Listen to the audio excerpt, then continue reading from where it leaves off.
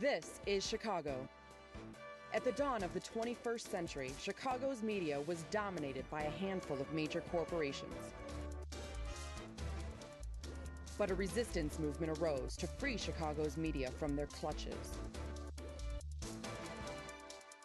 One player in this movement is the Chicago Independent Media Center and its TV show, Chicago Independent Television.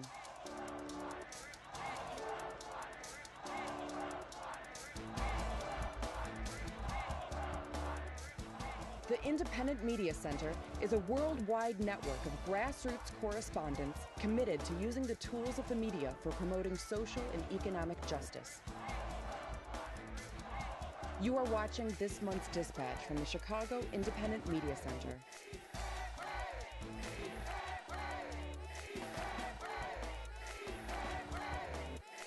Welcome to Chicago Independent Television, collection of progressive video reports by grassroots media workers produced free from corporate or commercial support or interest. I'm your host, Sanam Sister TV Amagashi. In this episode, we'll join with recent Chicago protests on a variety of issues, including the ongoing civil war in Syria, a July 4th block party against the policies of Chicago Mayor Rahm Emanuel, and a recent cannabis march. We'll also see a music video compilation of recent protests for LGBT rights. Stay with us. Chicago Independent Television is not brought to you by Coca Cola, whose logo is stained red by the blood of murdered Colombian labor union organizers. Learn more at killercoke.org. Coke, the drink of the death squads. has deepened its involvement in the ongoing civil war in Syria, approving military aid in a controversial move. In this segment, we'll join a Chicago protest objecting to the move.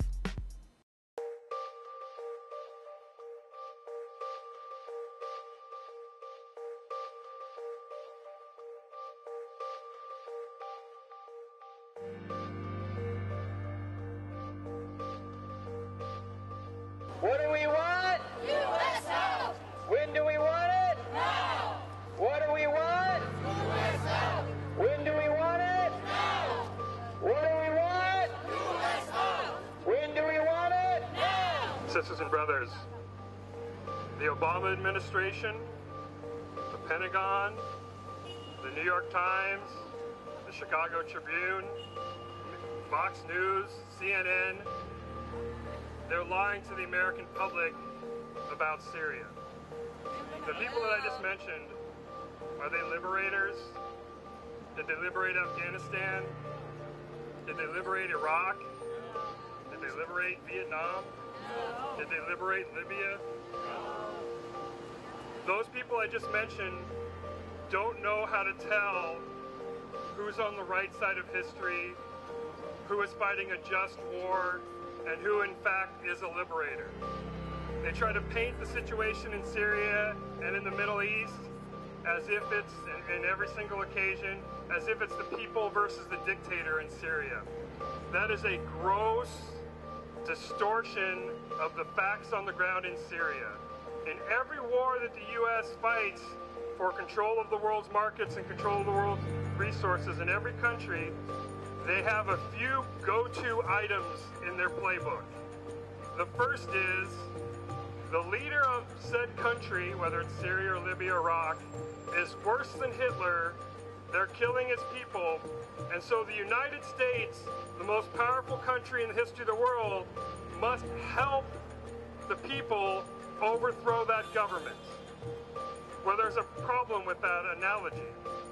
The problem is, is that we live in the United States where that analogy goes hand in hand with the U.S.'s greatest tool when it comes to intervention and interference in other people's affairs, and that is racism. The characterization of other governments as needing U.S. intervention is racist. The attack on Syria is racist. The attack on Libya was racist. The attack on Iraq is racist. And why do I bring this up? Because the, one of the biggest things we need to do in the United States as a pro-justice movement, as an anti-war movement, is fight the racist warmongers. It's not a coincidence, like I've said here in past occasions when we've been out here, that the Emanuel administration, which is very close with the Obama administration, is closing schools in poor black and Latino neighborhoods here. And how do they justify closing those schools? By racism. So when the when the warmongers in Washington Pentagon come up to the American people and say, we need to intervene in Syria or Iraq or Libya based on some form of humanitarian reason, we need to stand up, stand together, and stand strong and call it what it is. It's a lie. The United States saw an opportunity to overthrow the Syrian government, and they wanted to do that. They tried to take advantage of that for one basic reason, and other speakers have already said it, is that the United States wants to control the Middle East. It's not secondary or a second part of their plan for the warmongers in the Pentagon, who are big buddies with the billionaires on the wall in Wall Street. Controlling the Middle East is is of essential importance when it comes to the world markets, natural resources, and geostrategic positioning. It's not a coincidence that this keeps happening in the Middle East because for the for the Pentagon and for Washington, the Middle East is their number one target. And their biggest problem with the Middle East, sisters and brothers, is not dictators they want to help overthrow out of some reason for justice. It's that, just like the Native Americans actually, there are people that actually live on the land over the resources, and those resources, by all just means, belong to the people who live there, not to ExxonMobil, not to Unocal, and not to Washington or, the, or Pentagon. So when we're out in the streets here struggling against the war on Syria, we're struggling first and foremost for the Syrian people. We're struggling for the people of the Middle East. But sisters and brothers, we're struggling for ourselves here too. To stop a lying, racist government from, from their attacks on us.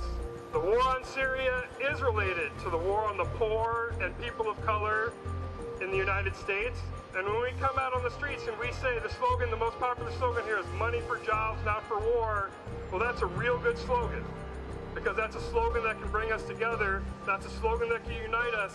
But along with that, let's raise the banner of fighting racism here and abroad, sisters and brothers.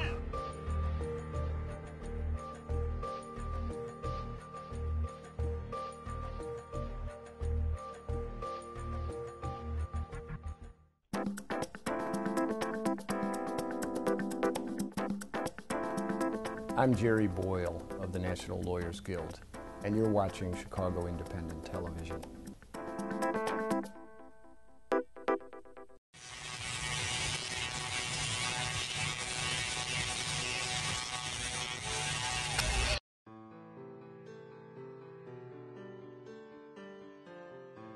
Oh, great rainbows and thunderstorms of our Creator's brainstorms, far and wide across the world, our pure waters Others are at harm. Please be a guide for the protectors of our waters and lands. May you break in parts of your canyon red, sunset orange, corn, pollen yellow, seas, oceans, lakes of blue, and mountain purples for all peoples of each color across the world to defend our Mother Earth. She needs our help. For she is our life, and her water is our blood.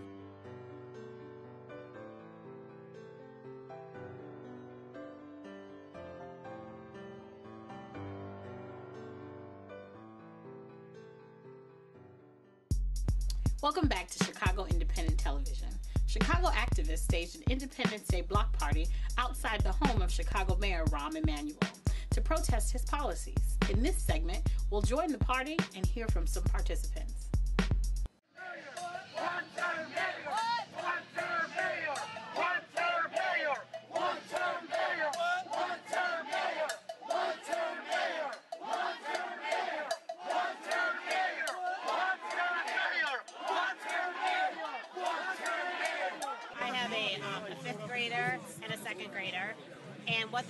Our kids' education is by overcrowding our classrooms, we, um, you know, and then not giving them any sort of extracurricular activities like gym or art or music. They have no break in the day. The teachers have no break. The kids are. Um, the kids are, you know, stuck in one classroom. I think, you know, they need a well-rounded education.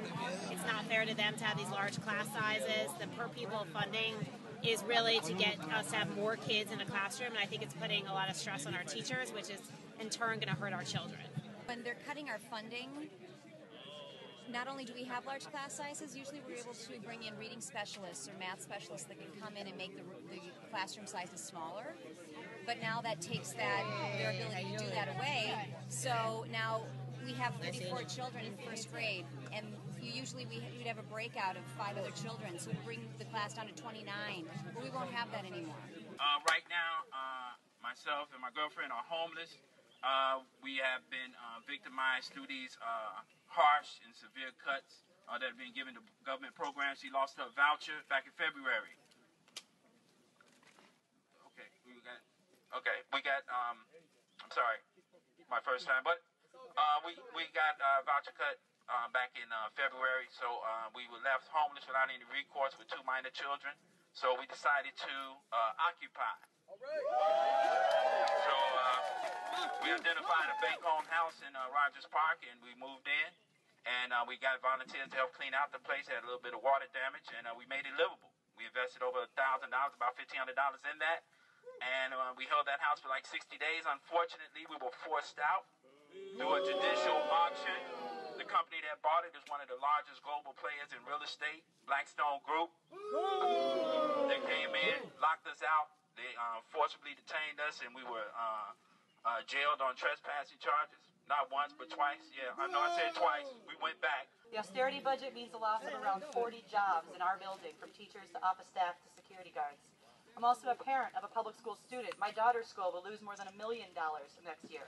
Once again, jobs lost, educational programs unsustainable. The story is repeated in hundreds of schools across the city, and we're the lucky ones because my daughter still has a school to attend next year, and I still have a job waiting for me at the end of the summer. When our unelected school board voted to close an unprecedented number of schools from the most disenfranchised neighborhoods in the city, they claimed a need for austerity. We simply can't afford these underutilized schools. When they slashed budgets across the district, they claimed it was unavoidable because of the severe budget deficit, and then pointed the finger at teacher pensions. The mayor, the mayor and the school board actually want us to buy into the idea that the city is so financially insecure that the only solution is to make city workers and children pay. So here's the thing about austerity in education. It doesn't save money and it doesn't improve education. But that doesn't mean that it's not working. In fact, Chicago's program of austerity in education is part of a nationwide trend. Discussions of budget deficit is just a distraction. These are the real five pillars of corporate education reform. One, you replace learning with testing. And then you move to two, you punish and destabilize public schools. That leads to three, weakening unions. Four, privatizing educations. And then the final pillar, you make billions of dollars in profit off the backs of our children. Chicago poet Malcolm London summed it up beautifully in his poem Training Ground. He wrote, I hear the education systems are failing, but I believe they are succeeding at what they're built to do. All right. At the Board of Ed meeting on June 26th, parent Victoria Griffo Benson spoke about the cost of austerity at her child's school, and she finished by telling the board, I don't buy what you're selling, nor do I have trust in this system that's supposedly all about the children. And in this era of austerity, none of us can afford to buy into a public school system that Chicago's trying to sell us. That's why we have a moral responsibility to keep fighting until we have taken back the power and regained control of our communities, our schools, and our children's futures.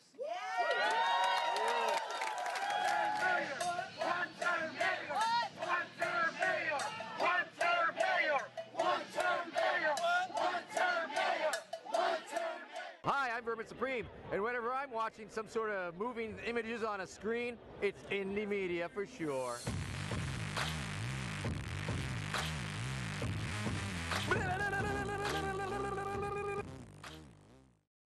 Chicago Independent Television is not brought to you by Walmart. There's a reason we're the world's most profitable corporation. We pay our employees peanuts. Learn more at walmartwatch.com. Walmart. Always low wages, always.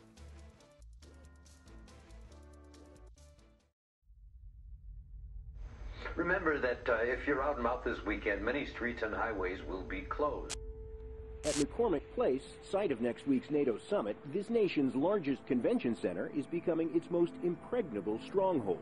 Nearby storefronts are boarded up as if for a hurricane, but this storm is man-made.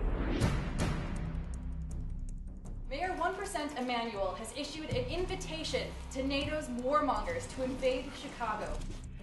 Security is high around the city, especially the downtown area. Do not let the city of Chicago intimidate you from exercising your First Amendment rights. The, the system is failing most of the people in some ways, and uh, people are in the streets.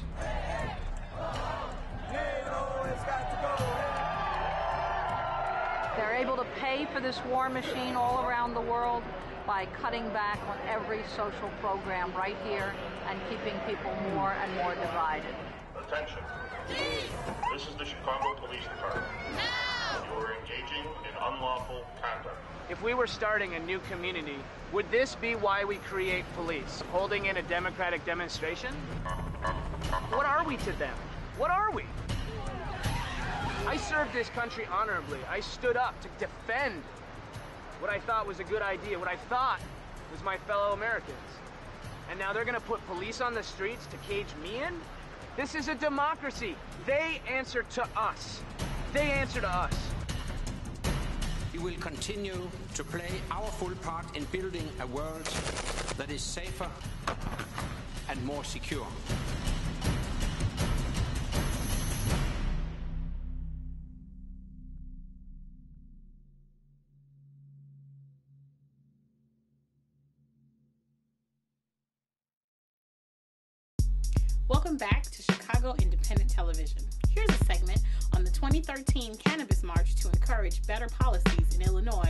Regarding cannabis.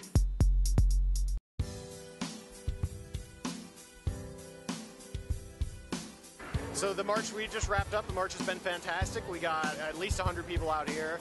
Uh, great turnout on a beautiful day. We had some music, we had some speakers, we went and marched around, and uh, everybody seemed to have a good time and an enjoyable day. It was very productive.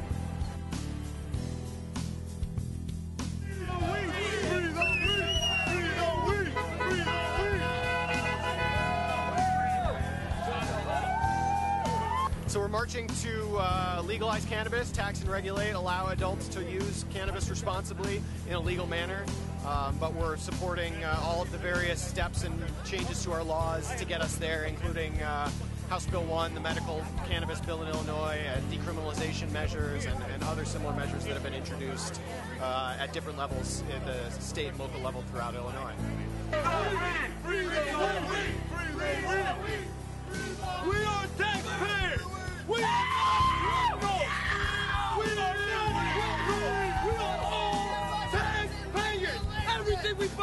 Everything we do is tax! We are not criminals! We are not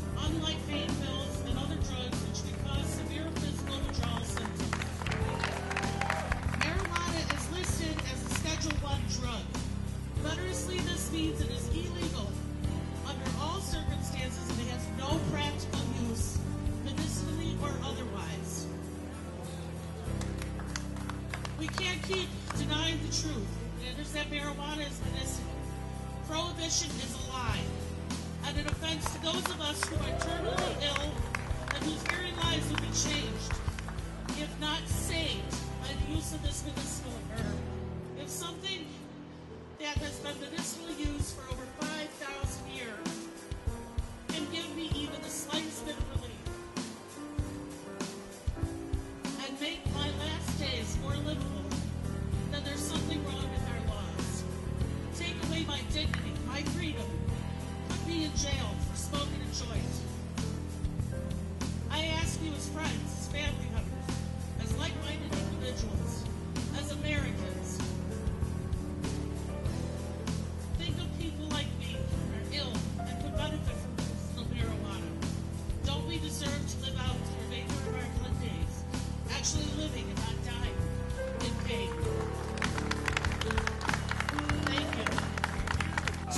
can get more involved in Illinois NORML and our general policy by visiting our website, illinoisnorml.org.